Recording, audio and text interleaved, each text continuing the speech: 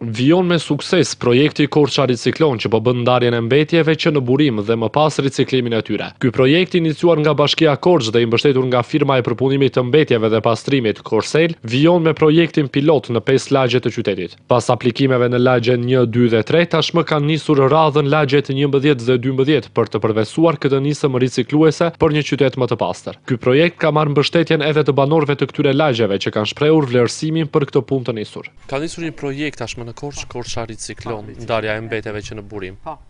Ju duket një projekt i mirë? Shumë i rregullt, shumë i mirë. Dhe të vazhdoni kështu, të vazhdojë bashkia kështu. Është projekt që ndihmon në, në ndarjen e kategorisë së, së mbetjeve dhe më pas me riciklimin e tyre. Të shpresojmë për një qytet më të pastër atë? Po, po. Siç është Korça dhe akoma më mirë të marrin shembull dhe qytetet e tjera si neve. Projekti pilot Korça Riciklon pritet të vijojë edhe për disa muaj dhe më pas do të hyjë në zbatim në të gjithë Korçën.